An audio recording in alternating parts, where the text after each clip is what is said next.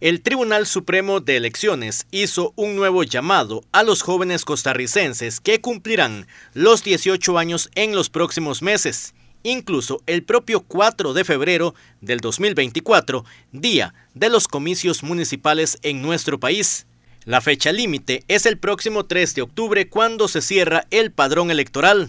El documento se entregará el día que cumplan la mayoría de edad. Según datos de la Unidad Estadística del Tribunal, entre el 7 de febrero del 2004 y el 4 de febrero del año 2006, nacieron 143.300 ciudadanos en territorio nacional, que serán considerados como nuevos electores para 2024 al inscribirse oportunamente en la lista de personas que podrán ejercer el voto.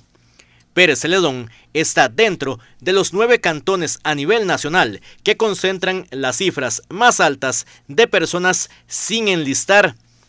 El próximo 4 de febrero del 2024 se celebrarán las elecciones municipales, donde se elegirán alcaldías, vicealcaldías, regidurías, sindicaturas, concejalías de distrito, intendencias, viceintendencias y concejalías municipales de distrito para el periodo 2024-2028.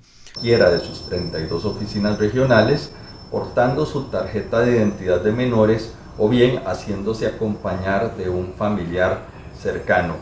Allí el funcionario del registro civil, Tribunal Supremo de Elecciones, tomará sus datos, le tomará la fotografía, recogerá su firma y en el momento en que esta persona cumpla los 18 años de edad, podrá retirar su cédula en la respectiva oficina. Un corte al mes de junio indicó que 50.333 personas todavía no han solicitado la identificación y por lo tanto no están empadronadas. De esa cifra, 25.919 son hombres y 24.414 son mujeres se ubica en el grupo de 17 años un 84.8%, mientras que un 11.5% ya cumplió la mayoría de edad, un 2.5% cuenta con 19 años y el restante 1.2 corresponde a costarricenses naturalizados.